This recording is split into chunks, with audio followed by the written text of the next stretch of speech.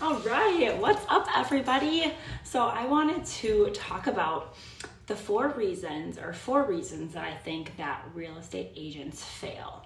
Um, but first of all, I wanted to quick talk about my shirt because I have had this shirt since I was a sophomore in high school. Um, a friend of mine gave it to me and I thought it was super cool and I just have always kept it. And it's this like super sweet vintage Ninja Turtle shirt. Um, so I am wearing it today with a leather skirt and some heels. Um, and I think it's so cool. So I hope you do too. Um, if you don't, that's all right as well. Anyways, so the top four reasons I think that real estate agents fail. So, number one on my list is not being fully committed to real estate. Um, a lot of people get into real estate and say, I, I'm gonna do it, I'm gonna try it, um, I'm gonna do it for a little extra income.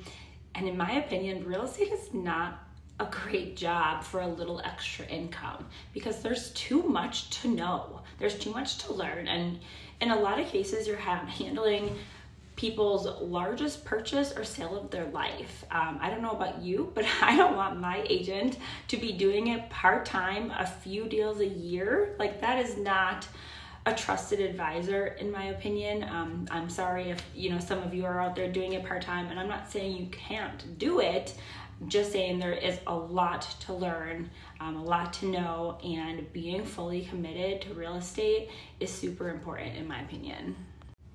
Also, once you fully commit, that's when your real estate career really takes off because now you're looking at this as a career instead of a part time hobby.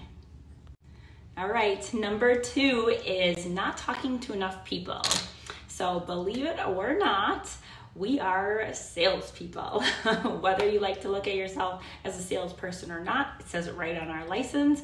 We are real estate sales professionals. So we need to be out there, out in our community, talking to real people because that's what our job is is communicating with people and providing value to our communities and to those who want our services.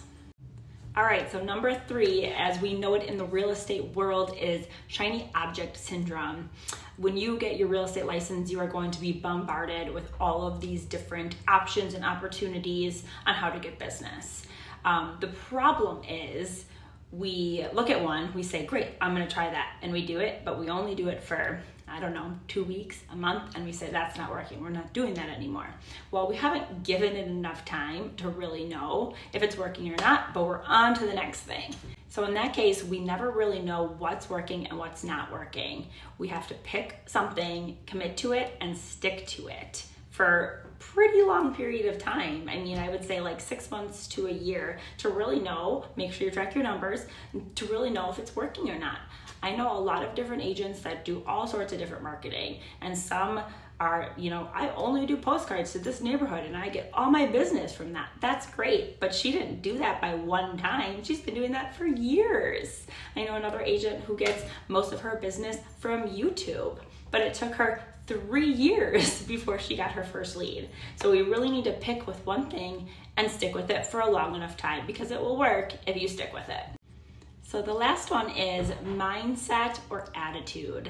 So whenever I'm speaking with a new agent who is aspiring to get their license, I really, really focus on this one because um, real estate is a hard business. I know sometimes we make it look easy and we make it look fun, um, but the day to day of it is tough and it can be really mentally tough. So if you cannot have the right attitude going into it, um, it's really, really likely that you are not going to do well.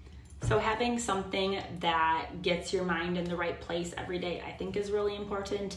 Um, I know everyone kind of does their, their own thing and to each their own, so that that's great. Um, I like to work out. So, working out for me, I feel accomplished when I'm done. I work out early. I get up probably at about four every day. I get to the gym by five, and I like to work out early because it makes me feel good. I feel great after the gym, and I'm ready to take on the day. Um, so, that's something that I do personally. I also take uh, about 10 to 15 minutes to read my devotional in the morning as well, um, so that my mind and body are connected and ready to go. Um, so there's not one right way for anybody and everybody. Everyone has their own thing, but definitely doing something that gets your mind in the right place because real estate is is mentally hard. Um, we get told no a lot. I hope you found a little bit of value in that, and now you know if you are a real estate agent and you're doing any of those things to run the other way, make some changes, get your mindset right, um, start working out, start talking to people in your community, pick something and commit to it. Um, decide real estate is going to be your full time career and go for it instead of making it this back passive job. I'm hoping to do more videos like this in the future uh, about real estate, um, my community, um, some things about EXP. Um, so I would love it if you would come back and see what else I'm going to put out for you guys. So please subscribe and I'll see you soon.